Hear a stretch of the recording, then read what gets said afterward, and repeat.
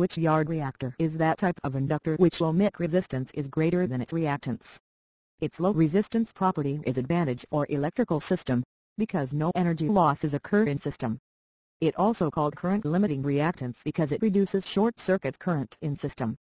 In the control of electric motors, current limiting reactors can be used to restrict starting current or as part of a speed control system. The current limiting reactor is used when the prospective short-circuit current in a distribution or transmission system is calculated to exceed the interrupting rating of the associated switch gear.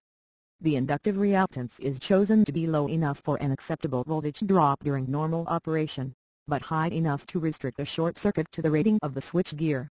The amount of protection that a current limiting reactor offers depends upon the percentage increase in impedance that it provides for the system.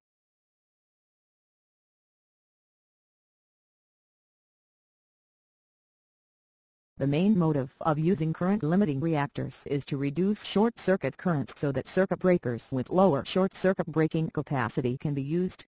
They can also be used to protect other system components from high current levels and to limit the inrush current when starting the large motor.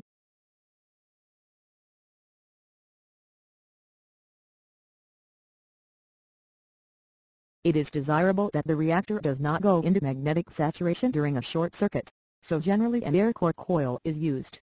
At low and medium voltages, their insulated coils are practical.